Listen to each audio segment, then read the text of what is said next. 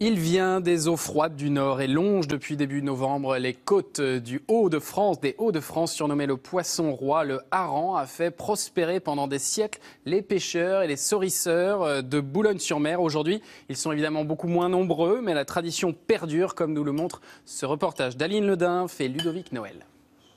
26 ans sur le bateau. Il est 22h dans le port de pêche de Boulogne-sur-Mer. Les bateaux rentrent en file indienne. La pêche fait partie de l'ADN de Jean-Pierre.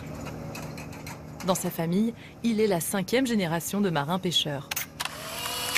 Il traque le hareng depuis 26 ans, mais ce soir, le poisson est capricieux. Non, aujourd'hui, il n'y a pas de hareng. Euh, on, a, on a été chercher après pendant 5-6 heures, mais on l'a pas trouvé.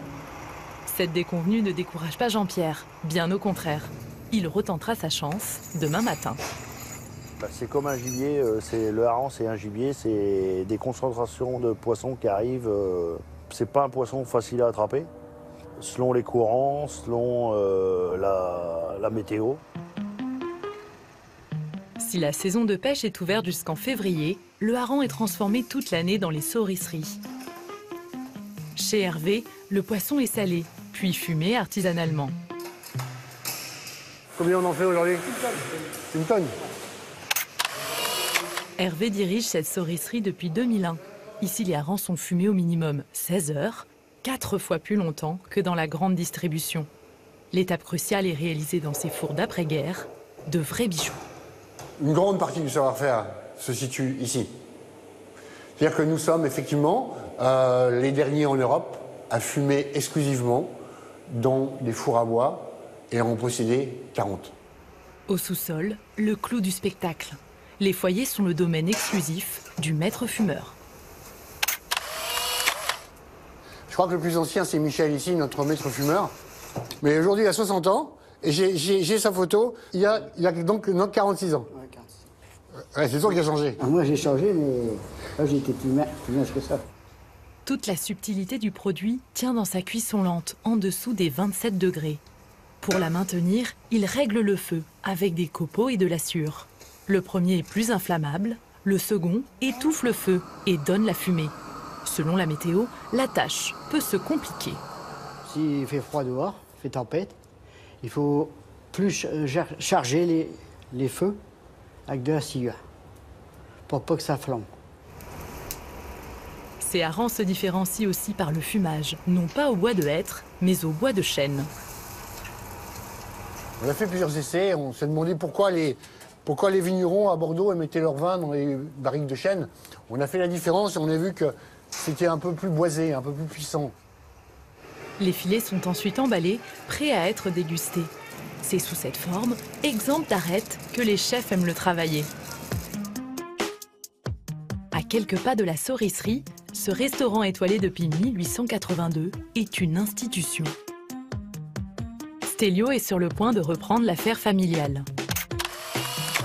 Avec son amie Martha, il cherche sans cesse de nouvelles saveurs pour sublimer le hareng. C'est ça qui est intéressant dans la cuisine, c'est de pouvoir donner une, euh, une, touche de piquant, un rehaussement, un assaisonnement dans son assiette. Le hareng de Stelio est déjà salé par la fumaison. Dans ce velouté de potimarron, le poisson présenté en cubes et en chantilly va apporter un petit plus en fin de bouche. Parfait.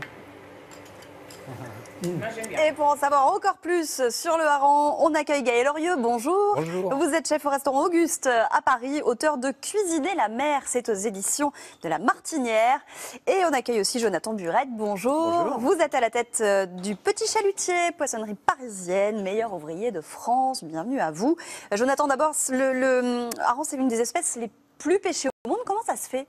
Bah, déjà parce que c'est un des poissons les plus abondants des eaux tempérées et euh, des eaux subarctiques de l'hémisphère nord. Puis si on rajoute à ça le fait que ce soit un poisson qui culturellement est très présent dans, les gastronomies des pays du Nord comme la Scandinavie, la Hollande ou, la Belgique, voilà, c'est ce qui en fait un des poissons les plus pêchés.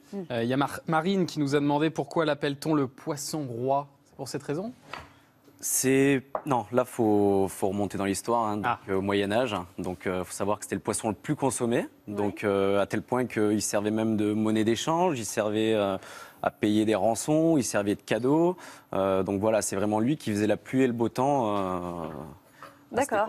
Voilà. Et alors, on le connaît plus, et on va en parler tout à l'heure, euh, fumé. On le connaît moins frais. Euh, on l'a ici euh, entier ou alors en filet. Quand on le cuisine comme ça et qu'on le consomme frais, il a quel goût? Est-ce que ça ressemble, je sais pas, à un macro, à une sardine? Alors, exa- exactement, ça ressemble à un macro, mais le goût est beaucoup plus doux. En fait, il est euh, un peu moins fort, beaucoup plus soyeux en, en bouche.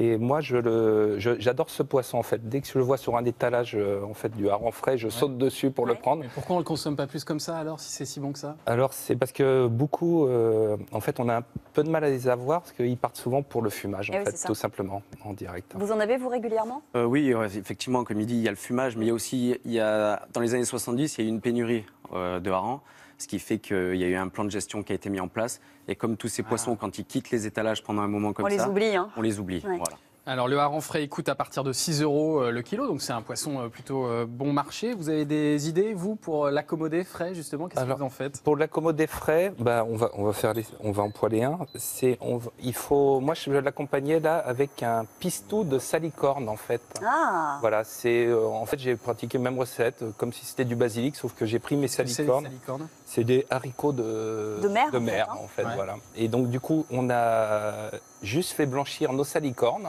dans l'eau et j'ai mélangé avec euh, des pignons de pain, euh, de l'huile d'olive, euh, voilà, et mixé avec un peu de parmesan.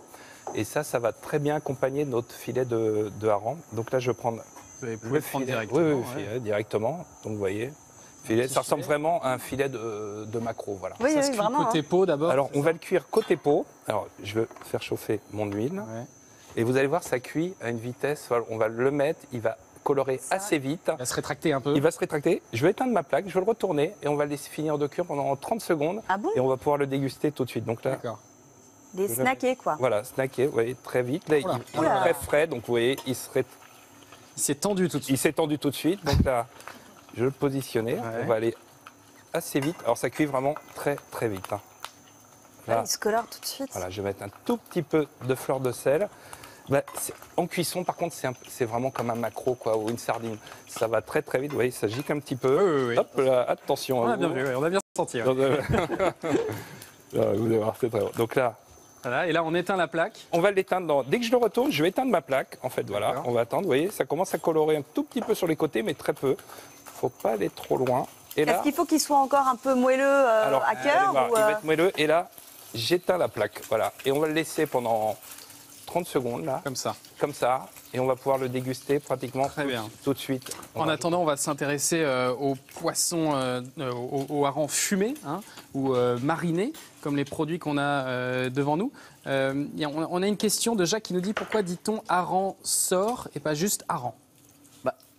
Là, on a du hareng sort. Qu'est-ce que c'est? Oui, là. Non, alors har- hareng, ça va tout de suite être hareng frais. Si on dit que hareng, ça va être le hareng frais.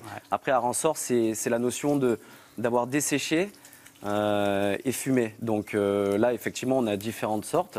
Donc là, hareng sort, on pourrait l'appeler bouffi, celui-là. Donc il est entier. Bouffi Bouffi, c'est exactement c'est son terme. Donc il a été salé et fumé tout en restant entier. Il n'a même pas été vidé.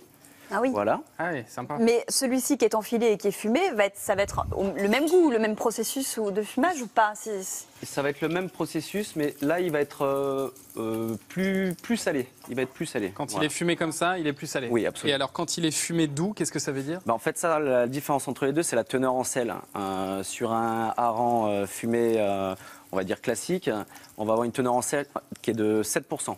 Alors que sur un fumé doux, euh, ce sera euh, 3%, la teneur en sel. Un petit peu moins de sel dans le fumé doux. Voilà, exactement. Et c'est plutôt meilleur Qu'est-ce que vous en pensez vous? C'est moins salé, donc Ouais. c'est peut-être plus, plus facile à. Effectivement, le fumé à est très salé Mm. Ouais. et je goûte le fumé doux. Et les prix sont Beaucoup moins. Les, les prix s'en ressentent un petit peu. hein. Le hareng fumé classique, c'est à partir de 7 euros le kilo. Il va être un petit peu plus cher. Le fumé doux, il y a moins de sel, mais c'est plus cher. Mm. Euh, 8 euros 50 le kilo. Mais effectivement, le fumé doux est quand même beaucoup plus, euh, beaucoup, beaucoup moins sec et beaucoup moins salé. C'est. Ouais. Mm. Plus agréable. euh, C'est beaucoup plus agréable, c'est ce, c'est ce qui est le plus consommé de toute façon. Et alors, est-ce qu'on peut manger l'arête dorsale demande Sarah Comme les sardines? Euh, c'est un, un petit peu quand même, c'est non, on peut pas la manger. Non, non, non, il faut enlever trop épaisse. Voilà, oui, oui, non, non, c'est- souvent elle est trop forte. On le goûte, ce Oui, hareng alors, bah, passez. Il a cuit donc. J'ai arrêté ma plaque. Dès que je l'ai retourné, je l'ai Ouais. laissé quelques secondes et là vous pouvez le manger tout simplement. Alors, On c'est enlève la peau ou pas? Non, vous pouvez la manger. Et c'est, je trouve ça beaucoup plus doux que le, que le maquereau. Avec le petit pistou de Avec le petit salicorne. pistou de salicorne pour le relever Oh, juste un petit excellent, peu. hein. Voilà, excellent. Et c'est vrai que c'est ce type de poisson, moi, dès que je le vois sur un étalage, je saute Bah oui. dessus pour le prendre, parce que c'est vraiment. Et on alors ne pense pas beaucoup, mais effectivement, il est très on n'y intéressant. pense pas. Voilà, très bon. Voilà. Alors expliquez-nous ce que ce qu'est le hareng keeper ou keeper. Alors, le, le hareng keeper, il a été. On a enlevé l'arête. hein. On a enlevé l'arête qui est sur le dos. On a laissé le ventre. Il a été euh, donc nettoyé, salé et fumé ensuite.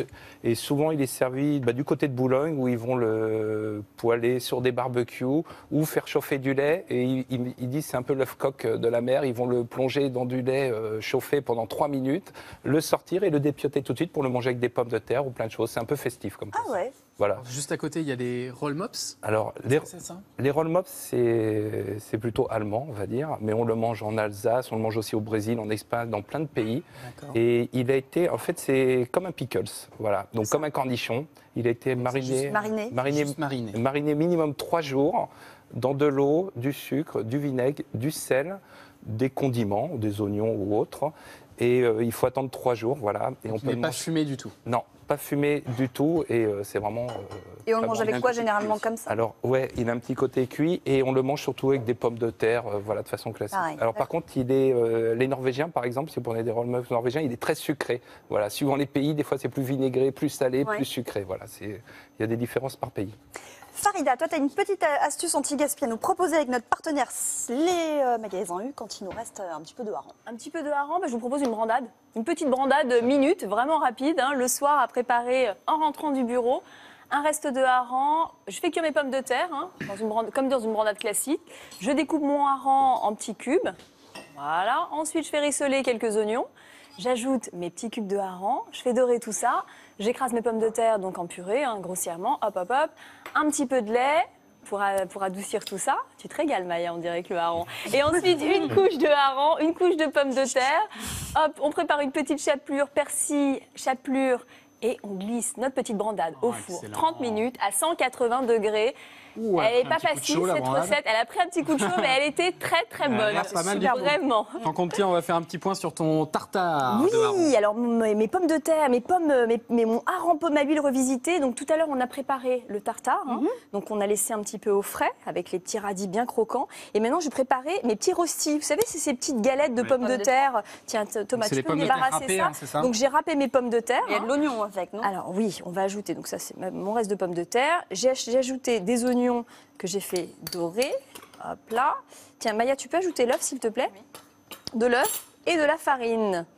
Ça va lier comme un ça petit les- peu de sel. de. Exactement. Tu peux ajouter un petit peu de sel. Je te fais beaucoup Mais bien travailler, sûr. hein. Eh oui.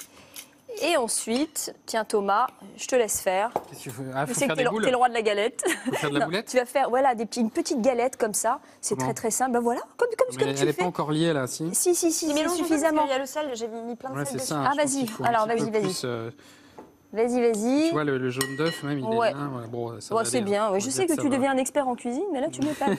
Et là, maintenant, tu peux faire dorer nos petits rostis. ça? Voilà, directement. Quel carnage. Non, non, non, tu vas voir. Puisqu'en fait, avec la farine, les œufs et les oignons, ça va vraiment se- se, ça se compactise, entre guillemets. Voilà.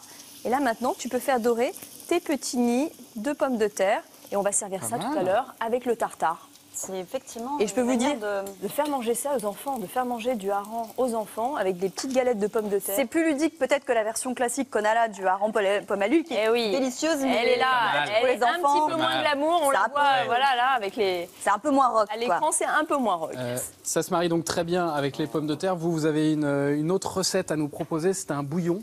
Alors, c'est c'est un bouillon, c'est j'ai utilisé le hareng en infusion en fait. J'ai fait une crème de cresson, très classique, un oignon, de la crème, du lait et du cresson. J'ai tout fait chauffer, j'ai mixé, mais dans mon lait et dans ma crème, j'avais mis des morceaux de hareng et pour infuser comme ça. Dois en fumer cette fois. Hareng fumé, voilà. Et ce qui est très bien, c'est qu'on peut relever, alors. pour relever et on peut choisir euh, différents harengs, plus ou moins salés, plus ou moins fumés, voilà. Et ça aromatise euh, Excellent. la soupe. Oh là là, c'est voilà. délicieux. On, a- on sent ce goût un petit peu salé Ah oui. Et f- fumé C'est qui vient génial. derrière, voilà. C'est super bon. Il faut dire quand même un mot des génial. qualités nutritionnelles des harengs. C'est super bon pour la santé, comme poisson. hein. riche en oméga 3. Mhm. Donc bon pour prévenir des maladies cardiovasculaires. Et Plein puis de protéines après, aussi. plein de protéines. euh, Vraiment euh, recommandé à consommer sans modération. Bon, et à consommer dans la recette de Farida dans quelques minutes.